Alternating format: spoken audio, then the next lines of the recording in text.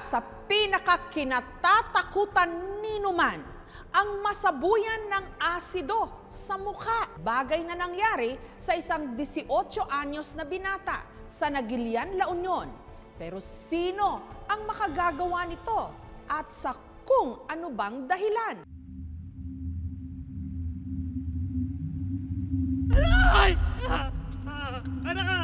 Nakabibinging sigaw ang bumasag sa katahimikan sa kalsada ng Nagilian, La Union noong Oktubre.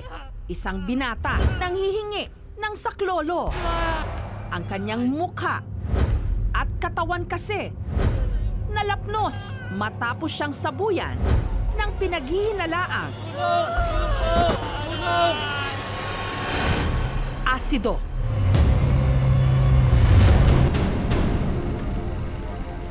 Ito na ang kanyang itsura. Malaking bahagi ng kanyang muka, dibdib at likuran, lapnos. Tapyas ang kanyang ilong. Wala na ang kanyang kanang tenga.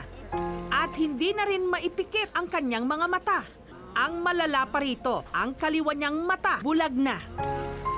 Ito ang kondisyon ngayon ng 18 anyos na si Ryan. Ito po, shadow na lang po. Ito lang po yung pwede ko. Yes, pero medyo blurred pa siya. Dahil sa tapang at lakas ng chemical na ibinuhos sa kanya, so nag-sustain siya ng extensive burn sa kanyang balat at umabot ito sa kanyang kalamnan. Ito ay classic example ng third degree burn. Ryan, alas 6.45 ng gabi noong October 26, naglalakad sila pauwi ng kanyang kaklase mula sa paglalaro ng computer. Pagdating nila sa tulay, may nakasalubong daw silang babae. May dalawang bote siyang hawak. Kala lang namin na umiinom siya or lasing.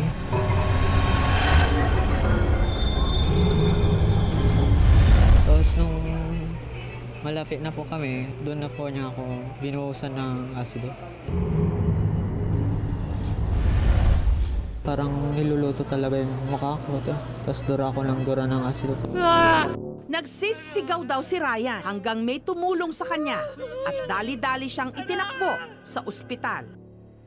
Ang kasama ni Ryan nung gabing yon, si Zachary, na natalsikan din daw ng isinaboy na asido. Bagamat wala siyang sugat sa mukha, bakas sa kanyang braso ang mga peklat. natalsikan ako. Akala ko nun, mainit na tubig, mainit na map din na parang sakit sa ilong, pulubi po.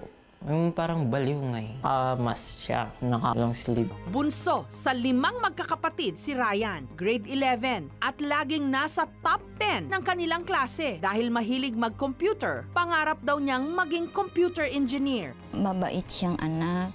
Kasi kung ano yung iuutos mo sa kanya, talaga namang sinusunod din niya kaagad. Hindi raw mabarkada si Ryan. Katunayan, madalas lang daw itong sumasama sa kanyang pinsan. Minsan naglalaro lang ng basketball. Talagang close na close sila kasi maya't maya magkasama sila. Pag hapon na, doon na, magdalawa na naman sila si Ryan. Diretso, kasi, Oh, diretso na sila sa Oo, computer. Diretso na computeran. Inaabot sila hanggang gabi, sir.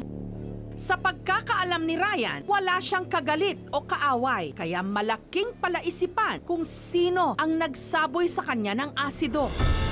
Sino nga ba ang babaeng yon? May kaugnayan ba ito sa kanya? Noong gabing nangyari ang krimen, may lumapit daw sa tanod ng barangay at nagsabing alam niya kung sino ang suspect. Ang nagsumbong si Mang Onesto.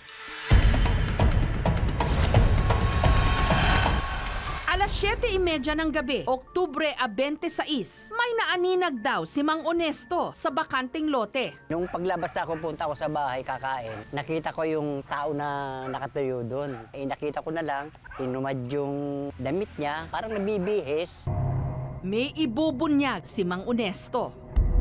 Taliwas sa nakita ni na Ryan at Zachary, ang di manoy nagsaboy ng asido. Hindi babae, kundi lalaki. Lalaki yun, parang silahi sa atak, patangkad din.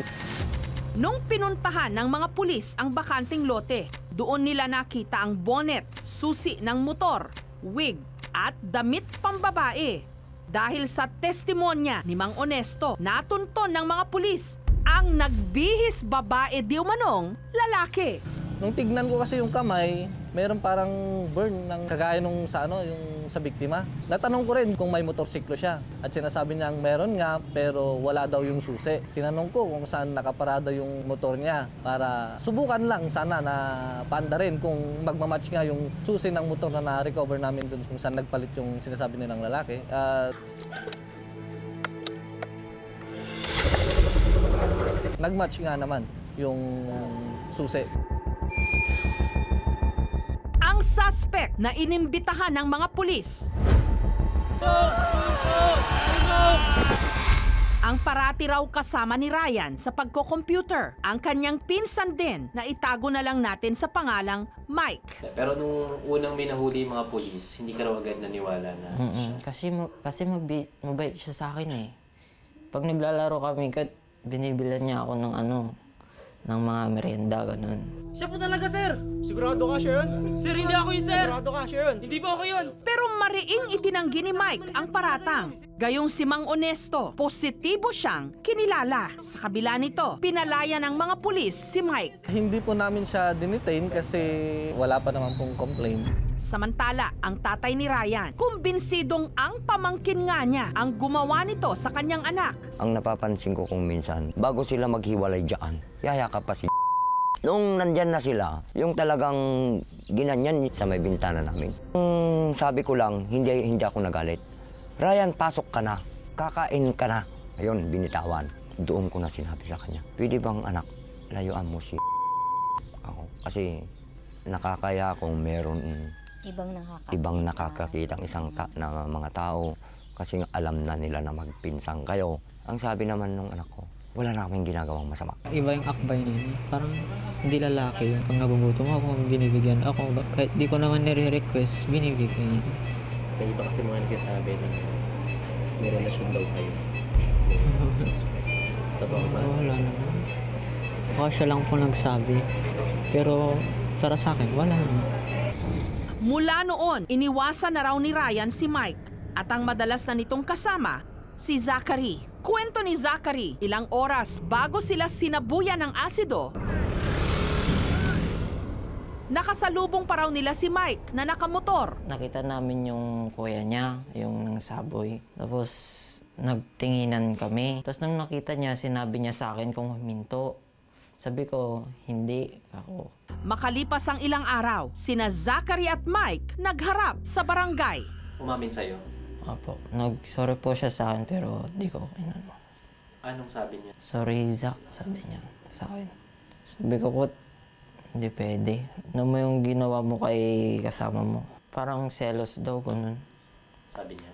Mm, selos daw siya. Kaya niya ginawa doon. Wala naman akong ginawang masama na kakadulo ng ganitong disgrasya. Sinuntok-suntok na lang sana mo. Hindi yung ganitong asido talaga.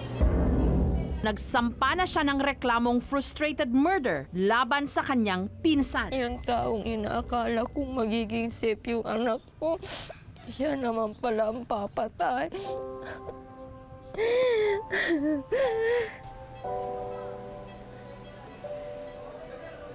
Inisip ko na papatayin ko siya. Pero sabi ko sa sarili ko, kung papatayin ko tong tao na to, saan ako pupunta?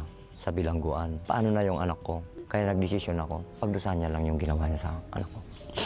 Hindi ko pinapalo yung anak ko na yan. Sa loob ng 18 years ngayon ganun.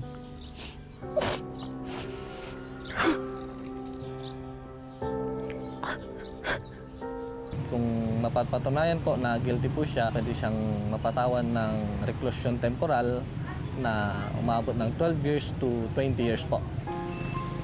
Ayon sa pulis, kasalukuyang naka-confine si Mike sa isang psychiatric ward sa Baguio. Sinubukan ng aming team na makuna ng pahayag ang kanyang ina, pero tumanggi ito. Samantala, para maisaayos ang kanyang mukha, kailangan daw niyang sumailalim sa skin grafting. Kukuha tayo ng balat sa hindi apektadong balat, tapos yun yung ililipat natin sa kanyang mga sugat. Hindi siya 100% na babalik, pero hindi siya magiging parang bukas na sugat na nagtataba or naglalangis. On rough estimate, no, 50 to 100,000. Tulungan niyo po ako na gumaling itong sakit. ginawa sa akin. Na Sana bumalik sa dati na kasi gusto ko pang mag-aral kasi tinanggal niya yung karapatan kong mag-aral kasi ginanito niya ako. Sana tulungan niyo po ako sa mga operation ano, or offer ako na gawing gawing normal lang aking mukha at leg. Sana makonsensya ka naman na o pahuli ka na para mapagkuhan mo naman na yung sala ng ginawa mo sa akin. Nung Webes, lumabas na ang warrant of arrest laban kay Mike. Pero dahil naka-confine ito, Nakipag-coordinate po tayo sa hospital kasi prior to that, may information na tayo na nandun po yung accused natin. Once na na nag-okay na po yung doktor niya na siya po ay magaling na, anytime po pwede na po natin siyang kunin at ipresenta sa korte.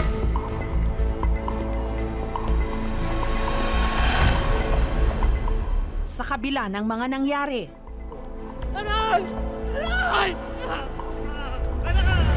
umaasa si Ryan na kalaunan maghihilom din ang kanyang mga sugat. Hindi na po namin siya kayang makitang sa ganun na kalagayan niya. Hala na po na yung awa. Tulungan po niyo yung anak ko.